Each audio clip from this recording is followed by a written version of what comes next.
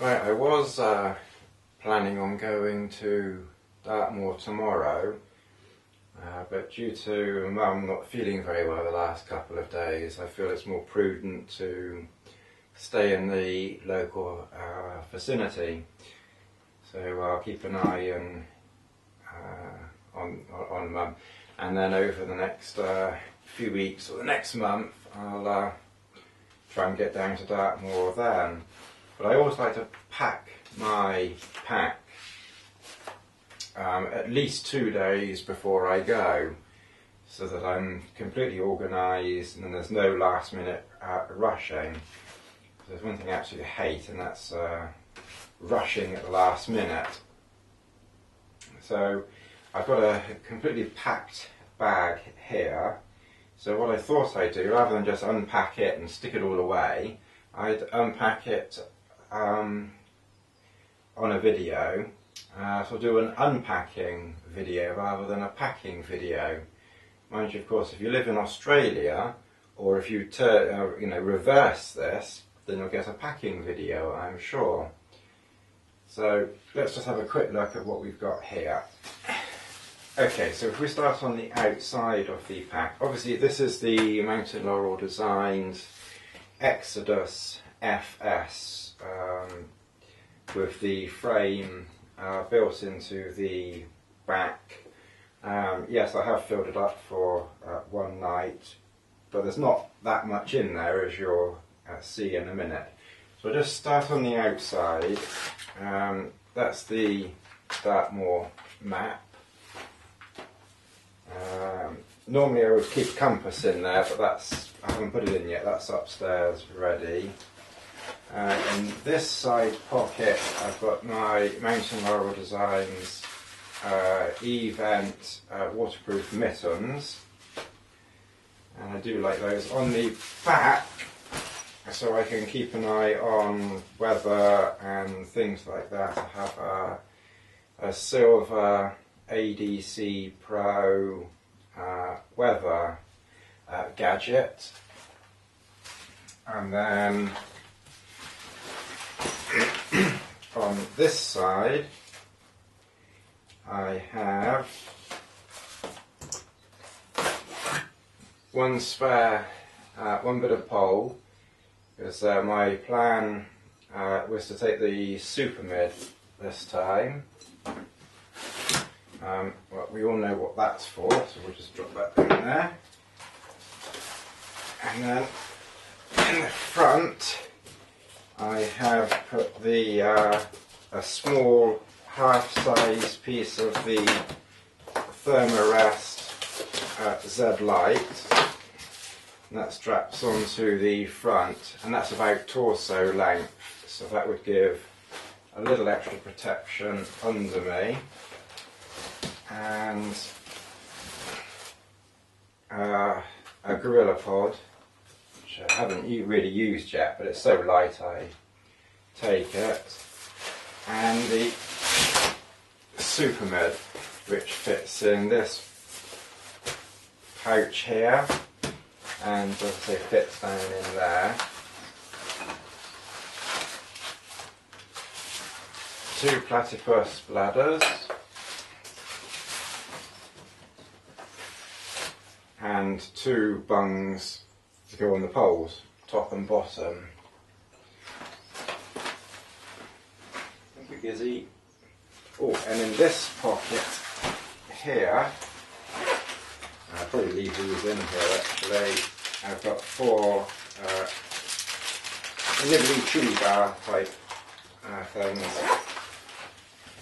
I've, I've already shown you a video on the water containers in the top I have the pegs, bag of pegs, some, oh, a little bit of cord. Um, there, there is a reason for the cord. Uh, a large tent stake, which is really an emergency or for digging a latrine. Some bungee cord will be uh, I'll tell you about that later, and spare Dyneema cord. Sunglasses, probably don't need, but that's one thing I'll always take is glasses. I always take my sunglasses. Torch.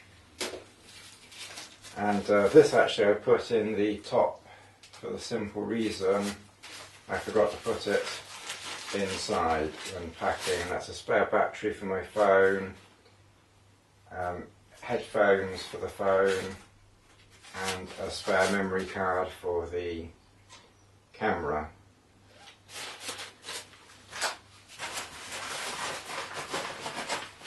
And that's everything in there.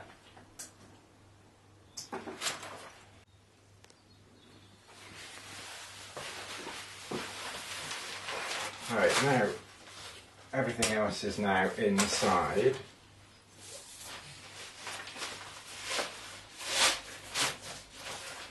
At the very top, in uh, naturally Mountain Laurel Designs uh, Cuben fibre stuff sack.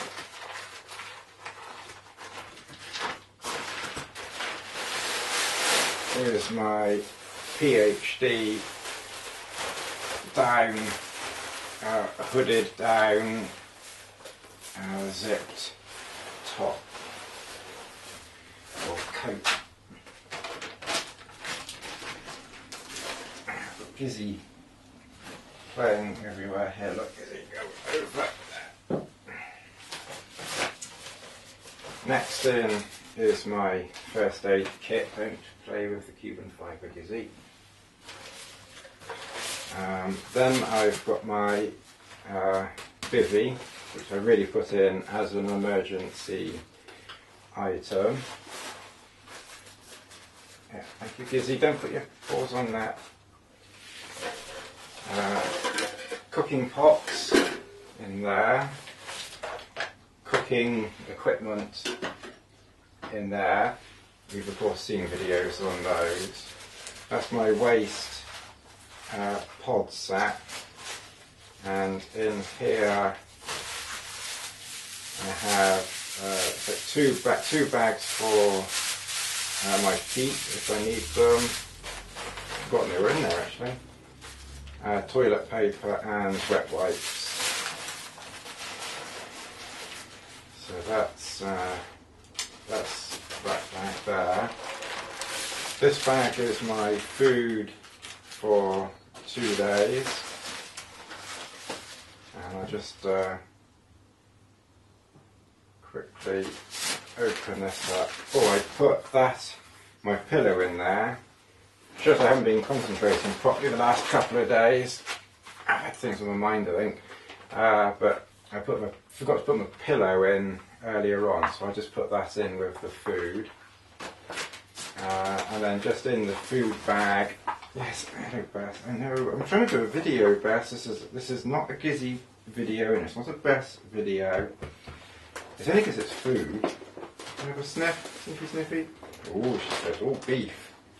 Yeah, and it is supposed to be beef. It's not horse over. Know that. Right. no, you're very beautiful.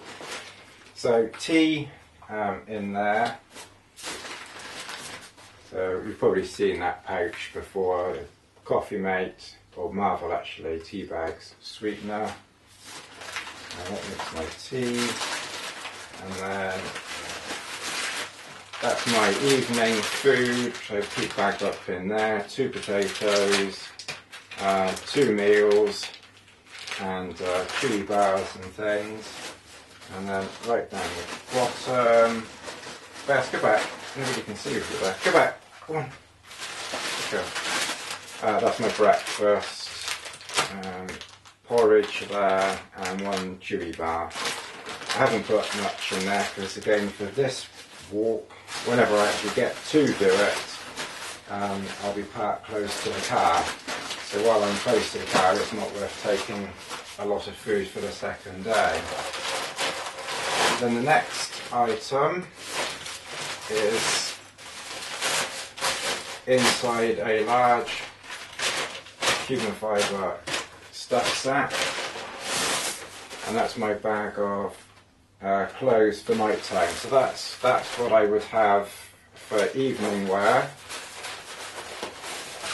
Uh, one jumper.